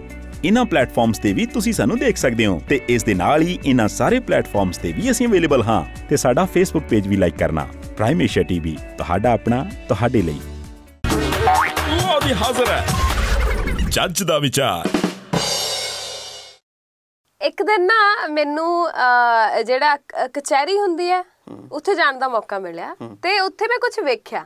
ਕੀ? ਜੋ ਵੇਖਣ ਤੋਂ ਬਾਅਦ ਚ ਮੈਂ ਹੈਰਾਨ ਵੀ ਸੀ ਮੈਂ ਤਸਵੀਰਾਂ ਸਪੈਸ਼ਲੀ ਖਿੱਚ ਕੇ ਲੈ ਕੇ ਆਈ ਪਤਾ। ਮੈਂ ਹੈਰਾਨ ਵੀ ਸੀ ਪਰੇਸ਼ਾਨ ਵੀ ਸੀ ਤੇ ਲੋਕਾਂ ਦੀ ਸੋਚ ਤੇ ਕੁਰਬਾਨ ਵੀ ਸੀ। ਅੱਛਾ। ਕੁਛ ਐਸਾ ਚਮਤਕਾਰੀ ਹੋ ਗਿਆ। ਕੁਝ ਚਮਤਕਾਰੀ ਹੋ ਗਿਆ। ਮੈਂ ਨਾ ਜਿਹੜਾ ਪਟਵਾਰਖਾਨਾ ਹੁੰਦਾ ਉੱਥੇ ਗਈ। ਤੇ ਉੱਥੇ ਨਾ ਪਟਵਾਰਖਾਨੇ ਵਿੱਚ ਪਿੱਲਰ ਲੱਗੇ ਹੋਏ ਸੀਗੇ। ਕਿੰਨੇ ਸਾਰੇ ਪਿੱਲਰ। ਸੀਗੇ ਥੰਮ ਸੀਗੇ ਹਨਾ? ਉਹਨਾਂ ਥੰਮਾਂ ਦੇ ਉੱਪਰ ਨਾ ਜਿਹੜਾ ਤਾਂ ਕਹਿ ਲਓ ਵੀ 5 ਫੁੱਟ ਤੋਂ ਲੈ ਕੇ ਤੇ ਥੋੜਾ ਜਿਹਾ ਉੱਪਰ ਵਾਲਾ ਹਿੱਸਾ ਮਤਲਬ ਇੰਨਾ ਹਿੱਸਾ ਇਹ ਕੋਈ ਨੀਅਰ ਅਬਾਊਟ 2 ਫੁੱਟ ਦਾ ਹਿੱਸਾ ਜਿਹੜਾ ਹੈ ਹਨਾ ਉਹ ਕਵਰਡ ਸੀਗਾ ਕਿਸੇ ਚੀਜ਼ ਦੇ ਨਾਲ। ਨਹੀਂ ਨਹੀਂ ਉਹ ਤਾਂ ਇੰਨੀ ਉੱਚੀ ਨਹੀਂ ਵੱਜਦੀ ਉਹ ਤਾਂ ਨੀਵੀਂ ਵੱਜਦੀ ਹੈ। ਉਹ ਤੇ ਸੀ ਮੈਂ ਤਾਂ ਅੰਗੂਠੇ। ਪਚਕਾਰੀਆਂ ਦੇ ਨਾਲ ਹੋਇਆ ਹੋਣਾ। ਨਹੀਂ ਨਹੀਂ ਉੱਥੇ ਵੀ ਮੈਂ ਆਉਣੀ ਆ। ਪਹਿਲਾਂ ਸ਼ੁਰੂਆਤ ਮੈਂ ਕਿਹਾ ਸਾਫ਼ ਸੁਥਰੀ ਕਰ ਲਈ ਉੱਥੇ ਨਾ ਸ- ਅੰਗੂਠਾ ਨਹੀਂ ਲਾਉਣਾ ਪੈਂਦਾ ਹਾਲੇ ਵੀ ਕਈ ਥਾਵਾਂ ਤੇ ਅੰਗੂਠਾ ਉਹ ਲੋਕਾਂ ਨੇ ਅੰਗੂਠੇ ਲਾ ਲਾ ਕੇ ਨਾ ਪੇਪਰਾਂ ਤੇ ਉਹਦੇ ਨਾਲ ਪੁੰਜੇ ਹੋਏ ਆ। ਬਿਲਕੁਲ ਸਹੀ ਗੱਲ। ਔਰ ਉਹ ਤੁਸੀਂ ਜਾ ਕੇ ਵੇਖੋ ਉੱਪਰੋਂ ਥੱਲੇ ਉਹ ਥੰਮ ਸਾਫ਼ ਆ ਉਨਾ ਘੇਰੀਆ ਸਿਰਫ ਅੰਗੂਠਿਆਂ ਦੇ ਨਾਲ ਹੀ ਵਾਹ। ਭਰਿਆ ਪਿਆ ਇਹ ਸਾਡੇ ਲੋਕਾਂ ਦੀ ਸੋਚ ਆ ਵੀ ਤੁਸੀਂ ਵੇਖੋ ਜਿਹੜੇ ਉੱਥੇ ਲੋਕ ਨਾ ਜੇ ਮੰਨ ਲਓ ਥੰਮ ਵੀ ਨਾ ਮਿਲੇ ਹਾਂ। ਮੰਨ ਲਓ ਤੁਸੀਂ ਮੈਨੂੰ ਕਹਿੰਦੇ ਵੀ ਅੰਗੂਠਾ ਲਾ ਇੱਥੇ ਹਾਂ। ਉਹ ਐ ਲਾ ਕੇ ਨਾ ਹਾਂ। ਇੱਥੇ ਐ ਜੇ ਹਾਂ ਹਾਂ ਹਾਂ? ਮਤਲਬ ਵਾਟ ਇਜ਼ ਦਿਸ ਹਨਾ ਹਨਾ? ਉਸ ਤੋਂ ਬਾਅਦ ਜਿੱਥੇ ਲਿਖਿਆ ਹੋਵੇ ਇੱਥੇ ਥੁੱਕਣਾ ਸਖਤ ਮਨਾ ਹੈ ਉੱਥੇ। ਲਾਲ ਹੀ ਕੀਤੀ ਹੁੰਦੀ। ਬਿਲਕੁਲ ਸਹੀ ਗੱਲ ਹੈ। ਅਸੀਂ ਕਹਿੰਦੇ ਪੇਂਟ ਕਰਨ ਦਾ ਮੌਕਾ ਹੀ ਨਾ ਮਿਲੇ। ਪਤਾ ਨਹੀਂ ਕਿਹੜੀ ਦੁਨੀਆ ਦੇ ਅਸੀਂ ਪਿਚਕਾਰੋ ਹਾਂ। ਪਿਚਕਾਰੀ ਐਸੀ ਹੁੰਦੇ ਆ ਵੀ ਸਿਰੇ ਲਾ ਦਿੰਦੇ ਆ ਅਸੀਂ ਤਾਂ ਨਾ ਕਮਾ ਪਿਚਕਾਰੋ ਪਿਚਕਾਰੀ। ਠੀਕ ਆ ਜਿਵੇਂ ਟਵੀਟੋ ਟਵੀਟੀ ਛਿੱਤਰੋ ਛਿੱਤਰੀ ਜੁੱਤੀਓ ਜੁੱਤੀ ਗਾਲੋ ਗਾਲੀ ਇਹ ਪਿਚਕਾਰੋ ਪਿਚਕਾਰੀ ਹੈ। ਨਵਾਂ ਹੀ ਵਰਡ ਰੋਜ਼ ਕੱਢ ਦਿੰਦੇ ਹੋ। ਸ਼ਬਦ। ਹਾਂ ਸ਼ਬਦ। ਮੈਂ ਵੀ ਨਾ ਕਚਹਿਰੀ ਦੇ ਵਿੱਚ ਦੇਖਿਆ ਕਈ ਵਾਰ। ਤੁਸੀਂ ਰੇਲ ਗੱਡੀ ਦੇ ਡੱਬੇ 'ਚ ਦੇਖ ਲਓ। ਹਾਂ। ਤੁਸੀਂ ਰੇਲਵੇ ਸਟੇਸ਼ਨ ਤੇ ਦੇਖ ਲਓ ਤੁਸੀਂ ਬੱਸ ਅੱਡੇ 'ਚ ਦੇਖ ਲਓ ਜਿੱਥੇ ਲੋਕ ਕਰ ਦਿੰਦੇ ਆ। ਆਏ ਹਾਏ ਜੀ ਗੰਦੇ ਲੋਕ ਠੀਕ ਹੈ ਬਹੁਤ ਦੁੱਖ ਹੁੰਦਾ। ਵੀ ਪਹਿਲੀ ਗੱਲ ਤਾਂ ਨਾ ਜਿਹੜੀ ਪਾਣ ਪੂਣ ਜੀ ਖਾਣੀ ਨਹੀਂ ਚਾਹੀਦੀ। ਹਾਂ। ਜਰਦਾ ਐਵੇਂ ਮੂੰਹ ਦੇ ਵਿੱਚ ਤੁੰਨੀ ਰੱਖਦੇ ਤੁਸੀਂ। ਤੇ ਜੇ ਤੁਸੀਂ ਭਾਈ ਨਹੀਂ ਹਟਦੇ ਤਾਂ ਫਿਰ ਭਾਈ ਕੋਈ ਜਗ੍ਹਾ ਦੇਖੋ ਤੁਸੀਂ ਲੋਕਾਂ ਦੇ ਲਈ ਬਿਮਾਰੀਆਂ ਕਿਉਂ ਵੰਡਦੇ ਆ?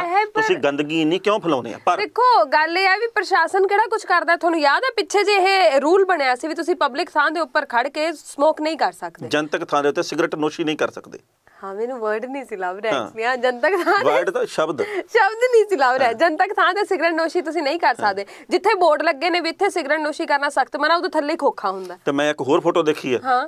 ਬੰਦੇ ਦੇ ਮੂੰਹ ਦੇ ਵਿੱਚ ਸਿਗਰਟ ਪਾਈ ਆ ਤੇ ਉਹ ਨਾ ਸਿਗਰਟ ਨੋਸ਼ੀ ਸਖਤ ਮਨਾ ਹੈ। ਉਹ ਟੰਗ ਰਿਹਾ ਬੋਰਡ ਮੇਖ ਦੇ ਨਾਲ।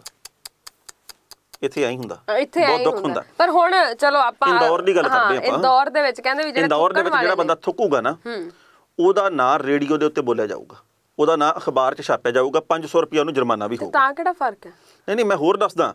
ਇਹ ਉੱਥੋਂ ਦੇ ਪ੍ਰਸ਼ਾਸਨ ਦੇ ਵੱਲੋਂ ਫੈਸਲਾ ਕੀਤਾ ਗਿਆ ਵੀ ਜਿਹੜਾ ਵੀ ਬੰਦਾ ਥੁੱਕਦਾ ਫੜਿਆ ਗਿਆ ਜਨਤਕ ਥਾਂ ਦੇ ਉੱਤੇ ਉਸ ਬੰਦੇ ਨੂੰ ਅਸੀਂ 500 ਰੁਪਏ ਜੁਰਮਾਨਾ ਵੀ ਕਰਾਂਗੇ। ਉਸ ਬੰਦੇ ਦਾ ਨਾਂ ਰੇਡੀਓ ਤੇ ਵੀ ਬੋਲਿਆ ਜਾਊਗਾ। ਉਸ ਬੰਦੇ ਦਾ ਨਾਂ ਅਖਬਾਰ 'ਚ ਵੀ ਛਪੂਗਾ ਰਸਾਲੇ 'ਚ ਵੀ ਛਪੂਗਾ।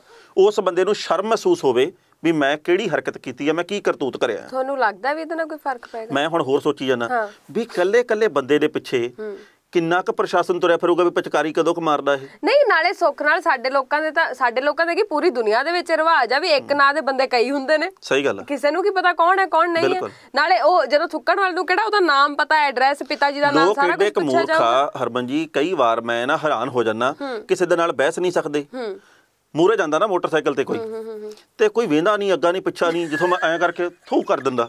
ਜਿਹੜਾ ਮਗਰਲਾ ਹੁੰਦਾ ਉਹਦਾ ਮੇਕਅਪ ਹੋ ਜਾਂਦਾ। ਆਹ ਜਦੋਂ ਕਿਤੇ ਬੱਸ ਨੂੰ ਓਵਰਟੇਕ ਕਰਨਾ ਹੋਏ ਨਾ ਉਦੋਂ ਸਭ ਤੋਂ ਡਰ ਲੱਗਦਾ। ਕੋਈ ਪਤਾ ਨਹੀਂ ਖਿੜਕੀ ਚੋਂ ਕੀ ਆ ਜਾਣਾ। ਕੀ ਆ ਜੇ ਭਾਈ ਉਹ ਚਮਤਕਾਰ ਹੀ ਹੁੰਦੇ ਇੱਥੇ। ਆਏ ਆਏ ਮੇਕਅਪ ਵੀ ਭੈਣ ਬੜਾ ਖਤਰਨਾਕ ਹੁੰਦਾ। ਗੰਦੀਆਂ ਗੱਲਾਂ ਕਰਨ ਲੱਗ। ਗੰਦੀਆਂ ਨਹੀਂ ਇਹ ਤਾਂ ਸੱਚਮੁੱਚ ਆ। ਮੈਂ ਇੱਕ ਵਾਰੀ ਇੱਕ ਬੰਦੇ ਨੂੰ ਰੋਕਿਆ। ਅੱਛਾ। ਉਹਦਾ ਮੈਂ ਤੇਜ਼ ਕਰਕੇ ਨਾ ਮੋਟਰਸਾਈਕਲ ਬਰਾਬਰ ਕੀਤਾ।